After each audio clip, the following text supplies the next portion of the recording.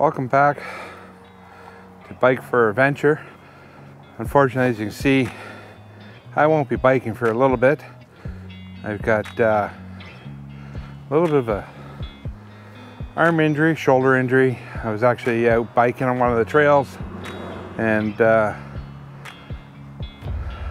didn't see, exactly see what was ahead of me because of leaves and whatever. Anyways, I wiped out, landed on my shoulder and messed up my shoulder a little bit. They said there's a little bit of separation, but more is just uh, severely all the muscles are strained. And before I even started biking, I actually I've been dealing with uh, for last year is a uh, tendonitis in my elbow. So, you know, this just adds to it. A little bit of time, and uh, it'll get fixed up. So, looking forward to be back out. So, in the meantime, I thought I'd go over uh, something here. Um, some of you may know, some of you probably most, I haven't done a video on it, is I use the Thule uh, XTR Pro 2 uh, bike rack. And uh, I'll uh, show you had an issue with it and I'll show you what's wrong with it.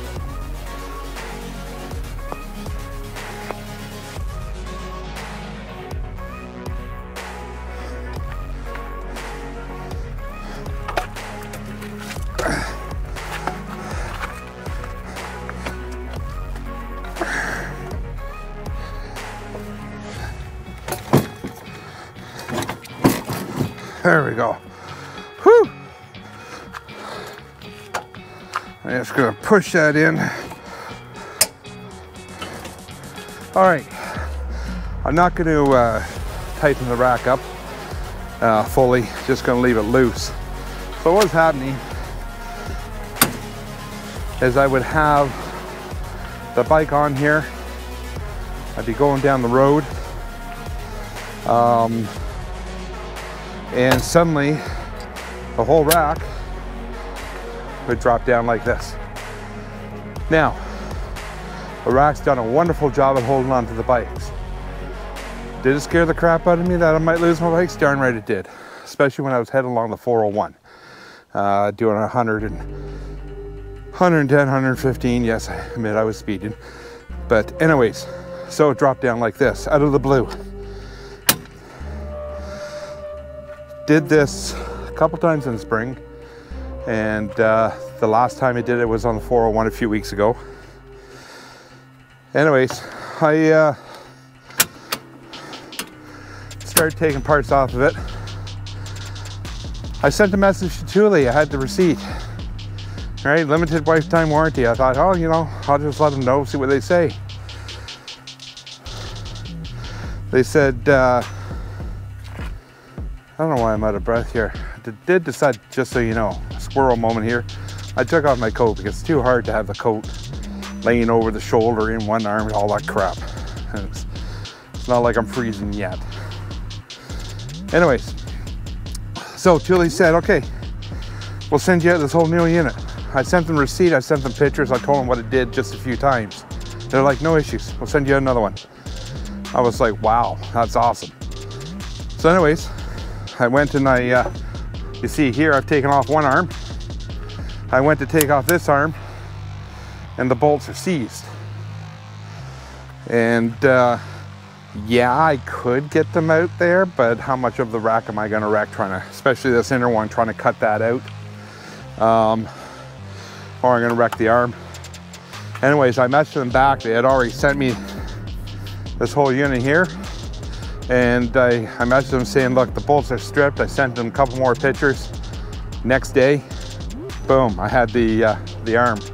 Now I do have to transfer over some of the, all the plastic stuff has to be transferred over. Uh, but uh, I got a brand new arm and a brand new thing. Excellent warranty service. It's, it's just unbelievable that uh, Thule um, would go out like this and just say, yeah, well, you know, fix the problem. So I did tell them that, uh, you know, all the parts uh, will be going for scrap. Um, it's unfortunate, but you know, I'll add it to my scrap metal pile. One of the wheels, I did tell them one of the wheels on the bottom here um, are is broken. Now the wheels that may have been my fault, and I told them that. I said I might have hit uh, my burn barrel with it, but it, you know, besides that, I'm not aware of you know hitting anything. And even the burn barrel, it's not like I knocked it right over and drove right over. I just tapped it with it, so it shouldn't have broke. But anyways, uh, ignore the lighting here. The lighting, a few LEDs were uh, burnt out on uh, on that rail. So I've actually um, ordered, I've got the new lights. And one thing I'm doing differently, instead of using a uh, steel bar to go across the lights, I'm actually got a piece of aluminum that I'm gonna be notching out that will go in behind and will be drilled so the bolts can slide, go through it. And the lights will be attached to a piece of aluminum. Now on this bike rack, right now you see the two piece setup. I do have the extension to make it a four, four bike thing, but I find with the four bikes, you're, you're close to four feet out, right? Which is, you know, I don't need the four bikes all that much. I need three bikes more than I need four bikes. So I might still put the extension on, undecided. But for now, definitely uh, once my wing gets a little bit better, I'm gonna be putting the parts together and that'll be another video of uh, me assembling the, the new rack. And uh, they sent me new bolts, everything. So I'm just ready to go and uh, swap stuff around. And that'll be a separate video once I got uh, use of both my arms. So thanks for watching. If you wanna see more videos like this, please like and subscribe and we'll talk to you soon.